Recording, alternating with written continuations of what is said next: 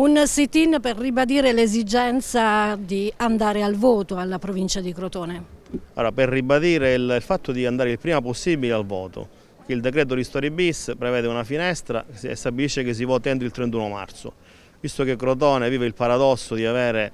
eh, un consigliere anziano che è subentrato ad un vicepresidente che è subentrato ad un presidente demissionario, riteniamo sia arrivato il momento di indire delle elezioni e dare la possibilità ai consigli comunali di scegliere il presidente della provincia che rappresenti un cambiamento che c'è stato perché di fatto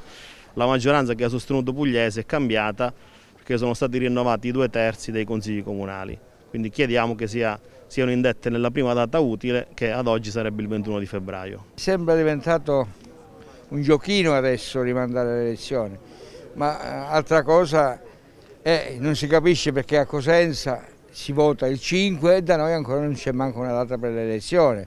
Ce lo dicono, il perché che noi l'accettiamo, però ce lo devono dire, non lo possiamo sentire dire, anche perché i problemi ce li abbiamo noi sindaci sul groppone. Un po' di chiarezza, non si può votare, perché non si può votare? C'è la pandemia, benissimo, tutto a casa, votiamo l'anno 21.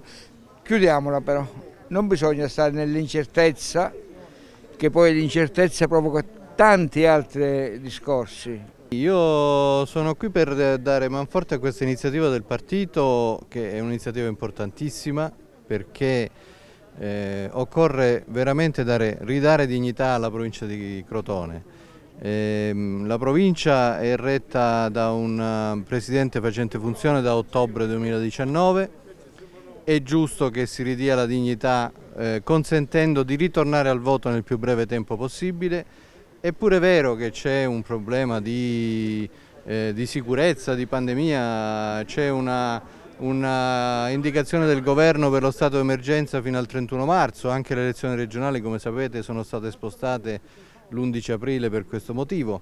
però le elezioni provinciali sono elezioni di secondo livello, comportano, non comportano il coinvolgimento della cittadinanza, come sapete, ma soltanto dei consiglieri comunali, dei consiglieri provinciali della provincia di Crotone, per cui non comporta una, un rischio elevatissimo, per cui sarebbe opportuno assolutamente ed è quello che oggi Fratelli d'Italia vuole dire con questa manifestazione sia al prefetto che agli stessi esponenti della provincia che è opportuno andare a votare nel più breve tempo possibile.